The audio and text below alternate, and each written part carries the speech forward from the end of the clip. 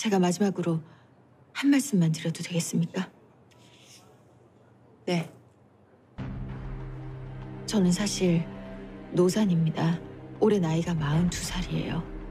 아이가 대학에 갈 때쯤 제 나이가 환갑이 넘습니다.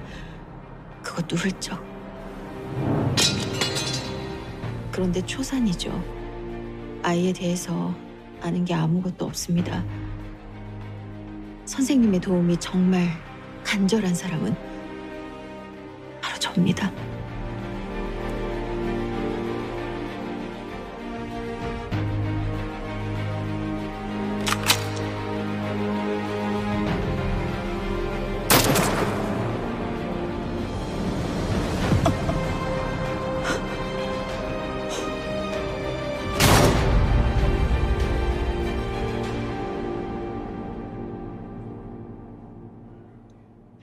선생님도 이런 얘기 잘 아시죠?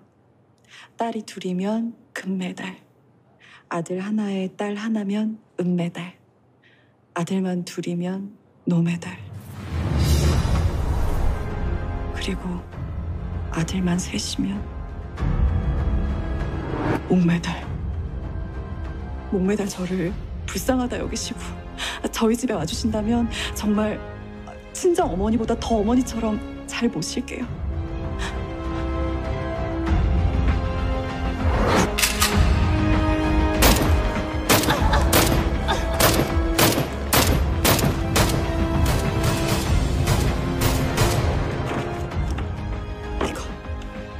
출출할 때 드세요.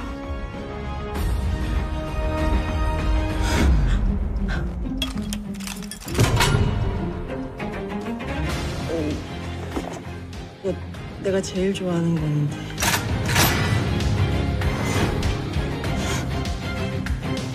잘 먹을게요.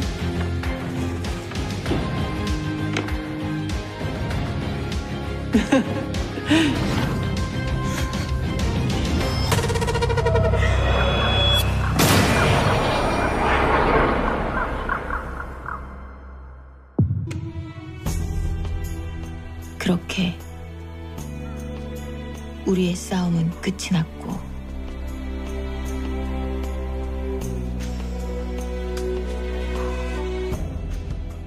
결과는 참패였다.